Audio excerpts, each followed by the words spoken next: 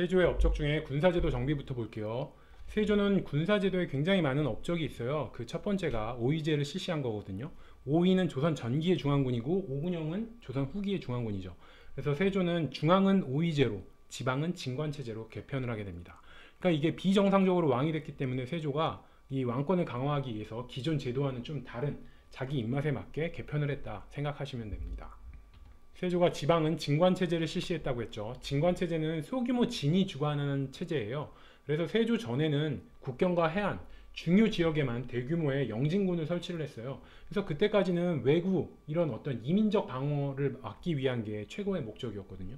근데 세조 때가 되면 이민족 침입 이런 건 별로 없는 거예요. 그러다 보니까 이 대규모의 영진군보다는 군현 지역 단위의 소규모 방어 체제를 만들어서 이 진에서 책임지고 자기 지역을 방어하는 이렇게 되다 보면은 소규모 전투에 아무래도 유리하겠죠.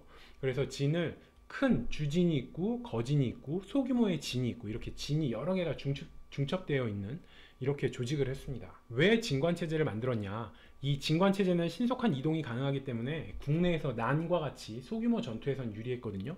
근데 이 세조가 비정상적으로 왕이 되다 보니까 각지에서 난 일어나는 걸 굉장히 두려워한 거예요. 이 시의 난 이런 게 이제 일어나면 두려운 거죠. 그래서 이 소규모 진관 체제를 설치를 해서 난이 일어나면 바로바로 바로 그냥 진압할 수 있도록 진관 체제를 설치했다. 이렇게 생각하시면 돼요. 세조가 중앙군은 5위, 지방군은 영진 진관 체제로 바꾸면서 그 군사 제도도 개편을 했는데 그게 바로 보법이에요. 그래서 조선 초기 처음에는 양인 개병제였어요. 양인 개병제.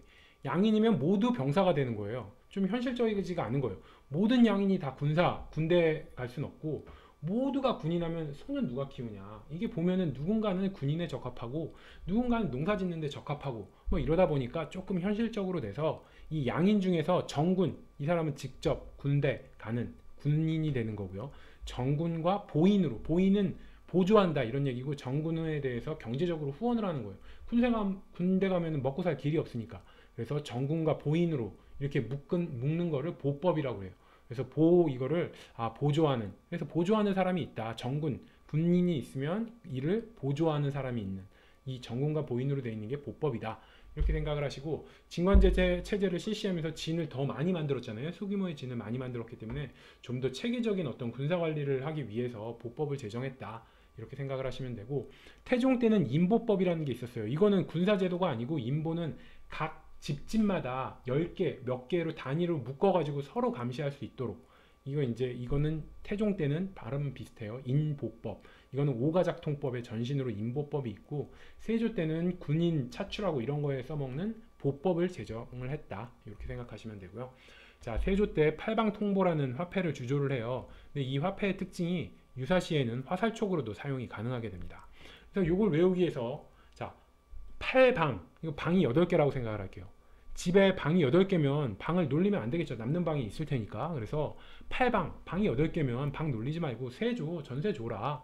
이렇게 생각을 하셔서 8방 통보는 세조 때 만들어진 거다. 왜 8방을 보고 아, 방이 8개야? 아, 그럼 세를 줘야지. 이렇게 생각하셔서 세조 연상하시면 됩니다. 그리고 이게 화살촉으로도 사용됐다는 걸 외우기 위해서 이렇게 생각할게요. 이게 8방 통보는 돈으로 쓰인 것뿐만 아니라 사방 팔방으로 다양하게 활용됐다. 팔방이 있으니까 사방팔방으로 다양하게 활용됐다. 어떻게? 화살책촉으로도 쓰였다. 이렇게 생각해서 팔방 통보에서 팔방을 보시고 아 팔방, 사방, 팔방, 아 다방면에 활용했는데 아 그게 화살촉이지. 이렇게 생각을 하시면 돼요. 자 세조는 조선전기의 군사체제의 뼈대를 마련했습니다. 중앙은 오이제로, 지방은 진관체제로 만들었잖아요. 그러면서 돈도 화, 돈을 화살로 사용할 수 있도록 이렇게 좀 군인, 군사와 관련된 업적이 많더라. 세조 때 원상제라는 걸 채택을 해요. 원상제가 뭐냐? 이 어린 임금이 즉위했을 경우에 재상들이 임금을 보좌하는 제도예요. 그러니까 세조가 죽고 19살에 어린 예종이 왕이 됐어요. 그러니까 세조가 어떻게 하겠어요? 죽기 전에 한명이나 신숙주 등의 재상들이 어린 임금을 도와서 정사를 돌본 거예요. 그래서 원이 집원이에요. 집에 상은 재상이에요. 그래서 집에 재상이 있는 거예요. 집에 재상이 있으면서 이 어린 왕을 도와서 정치를 했다. 이게 바로 원상제다. 이렇게 생각하시면 되고 세조 아들 예종도 19살에 죽죠. 근데 예종이 또 일찍 죽다 보니까 뒤이어서 성종이 이제 왕이 됐는데 성종은 12살에 즉위해요. 그래서 성종이 성인이 될 때까지 예종에 이어서 성종 때도 계속 원상제가 계속 됐다.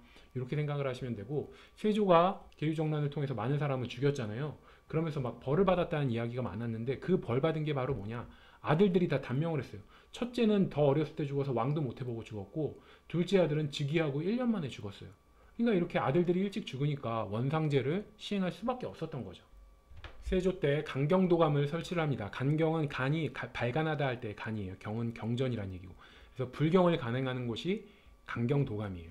그래서 세조는 이 말년에 피부병 등으로 굉장히 고생하면서 불교에 이제 굉장히 많이 의지를 했거든요. 그래서 세조가 사람을 많이 죽이고 말년되면 과거 일들을 굉장히 많이 후회해요. 몸도 아프고 막 피부병 걸리고 아들 죽고 막 이러니까 굉장히 마음이 약해져서 죄책감도 커지고 불교에 의지를 하게 됩니다. 그래서 이런 특징이 있어서 이제 불교에 의지를 하면서 불경을 간행했다 이렇게 생각을 하시면 되고 자 강경도감이 세종 때 세조 때 간- 이제 설치됐다 이걸 외우기 위해서 이렇게 생각을 할게요. 세조는 굉장히 강경한 사람이에요. 왜 강경한 사람이냐? 조선시대 때 강경한 사람 하면 태종과 세조가 있어요. 다 누군가를 죽이고 왕이 된 사람들이잖아요. 근데 태종은 배다른 동생 세자 방석을 죽였어요. 하지만 왕권을 장악하고자 반란을 일으킨 친형 방가는 살려뒀어요. 그러니까 배다른 동생을 죽였어도 친형은 못 죽였어요. 근데 세조는 어떻게 했냐? 친동생인 안평대군도 왕이 되는데 방해되니까 안평대군이 단종편 들었거든요. 그러니까 죽인 거예요. 그래서 태종과 세조 젊었을 때를 비교해 보면 세조가 더 강경한 인물이었어요. 왜? 자기 친동생도 죽였으니까. 태종은 친형은 못 차마 못 죽였는데 세조는 친동생도 죽인 사람이에요. 그래서 굉장히 강경한 사람이다. 그래서 세조가 정말 강경한 사람이었다. 이렇게 생각을 하시면 아 강경한 사람이라 간경도감을 설치했구나. 이렇게 외우시면 되고 그러니까 젊은 날에 너무 강경했기 때문에 이제 세조가 말년에는 죄책감도 굉장히 커서 괴로움을 많이 괴로워했다. 세조는 원각사와 원각사지 10층 석탑을 건립을 합니다. 이 원각사지 10층 석탑은 고려 말에 원각사지 10층 석탑의 영향을 받은 거예요. 원래 우리나라 탑은 다 홀수탑이에요. 3층 석탑이 많잖아요. 다 홀수탑인데 외국 영향을 받은 탑이라 이 원각사지 10층 석탑, 이 경천사지 10층 석탑 이게 이제 원나라의 영향을 받은 거거든요. 외국의 영향을 받아서 짝수인 10층이 됐다. 이렇게 생각을 하시면 되고 자 조카 죽이고 왕이 된 세조는 말년에 피부병 그리고 죄책감 때문에 몸과 마음이 다 고생을 했어요. 그리고 이런 설화가 내려와요. 꿈에 단종 어머니가 나타나서 세조한테 침을 뱉었는데 그뒤 피부병을 앓았다는 설이 있습니다. 그렇게 마음이 약해져서 불교에 빠진 거예요. 그래서 이제 강경도감 설치해서 불경도 간행하고 그랬어요. 그래서 이 원각사와 원각사지 10층 석탑이 세조가 만들었다. 이것도 외우기 위해서 원각에 집중을 할게요. 원각. 이 깨달았 깨, 각이 깨달을 각이에요. 그래서 죽은 사람의 원한을 깨달았다 이런 얘기예요. 그래서 세조가 죽은 사람의 원한을 깨닫고 죄책감에 지은 절이 원각사고 지은 탑이 원각사지 10층 석 탑이에요. 그래서 원각에서 아 원한을 깨닫다 이렇게 생각을 하셔서 아 말년에 죄책감에 괴로워한 세조 이렇게 연결하시면 돼요. 그리고 고려 때 광종도 귀족들을 굉장히 많이 죽이고 죄책감에 말년되면은 관촉사 석조미륵 보살을 세웁니다. 세조는 원구단을 설치해서 여기서 제천 행사를 거행을 해요. 그래서 이 제천 행사 원구단에서의 제천 행사는 고려 성종 때부터 조선 세조 때까지 원구단에서 제사를 지내요. 근데 이게 굉장히 자주적인 모습인데 무슨 뜻이냐? 제천 행사는 하늘의 자손인 중국만 시행이 가능해요. 원래 우리나라는 제천 행사를 못 지내게 되어 있는 거예요.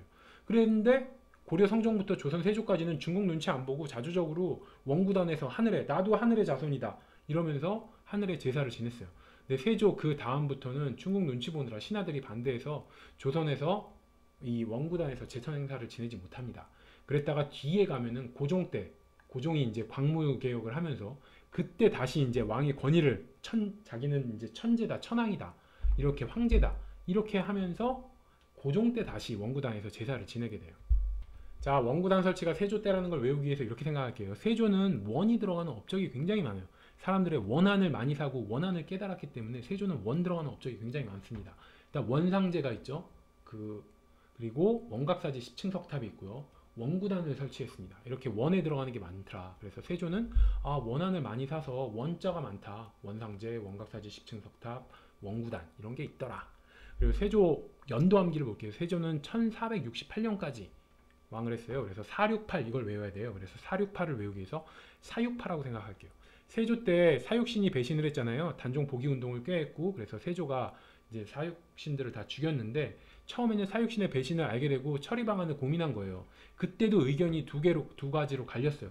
하나는 그래도 사육신을 죽이는 건 좀 아니다. 그러면서 세조한테 사육신을 감방에 가두고 이 사육신들을 사육하자. 그래서 정신을 개조하자. 이걸 사육파라고 그래요. 그래서 사육신을 사육하자. 사육파. 그리고 한 명의 같은 사람은 아, 무슨 소리냐 후원 없이 그냥 죽여버리자. 그래서 사형파. 그래서 사형파와 사육신을 사육시키자는 사육파 두 개로 나뉘어졌다. 근데 결국은 한 명의 말을 듣고 사용을 시켰잖아요. 근데 세조는 죽는 순간까지도 아 이제 말년에 죄책감이 드니까 죽는 순간에 아 사육신을 사육할 걸 그래서 사육파 말을 들을 거 이렇게 후회를 했다. 요 생, 스토리를 생각하셔서 아 사육신이 죽을 때 아 사육파 말을 들을 걸 해서 사육파 이걸 외우시면 됩니다. 세조 정리를 해볼게요. 자 태종업적과 비교해서 봐야 돼요. 비슷하니까 6조 직계제를 왕권 강화를 위해서 6조 직계제를 실시했고요. 유양소를 폐지했어요. 지방에서 양반들이 무슨 일을 할지 반란 일으킬지 뭐 할지 모르니까 태종, 세조 다 유양소를 폐지했고요. 인지의와 규형을 발명했습니다. 태종은 양전 사업을 실시해서 숨겨진 땅을 찾았다면 그 땅에 대해서 정확한 측량을 하기 위해서 인지의와 규형 다 땅을 측량하는 기구예요.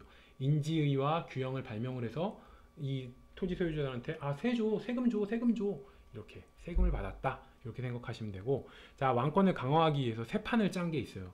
그 대표적인 게 경국대전을 쓰기 시작을 한 겁니다. 마무리는 성종 때 됐죠. 그래서 경국대전이 통치체제를 자기 세조의 입맛에 맞게 통치체제를 바꾸기 위해서 경국대전을 설치했다. 시, 편찬하기 시작했다. 이렇게 생각하시면 되고 직전법을 실시했어요.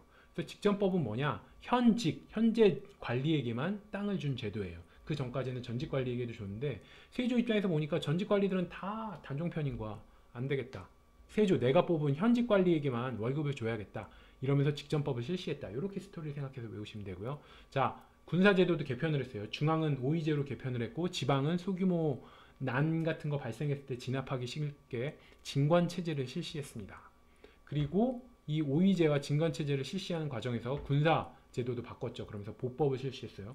보법이라는 건 보인과 정군으로 있어서 정군은 군인이고 군인을 보조해주는 보인을 두는 보법이라는 걸 실시했다.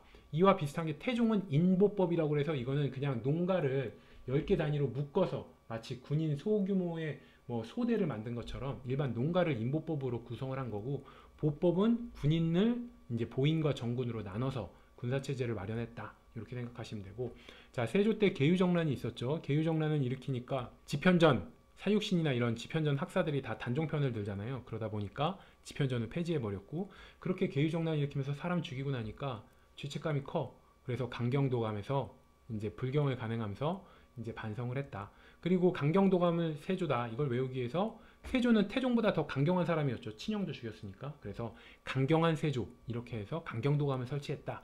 이걸 연결하시면 되고요. 자, 세조는 원한을 사람을 많이 죽여서 원한을 많이 샀다고 그랬어요. 그래서 원자 들어가는 게 많더라.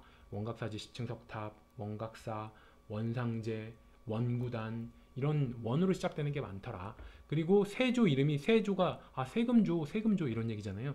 이 세조 이름에서 세금조 이걸 가지고 외울 수 있는 게 팔방 통보는 어떻게 외우시면 돼요? 팔방 방이 8개면 놀리지 말고 전세를 줘 세금 세를 줘라 이렇게 해서 세조 연결하시면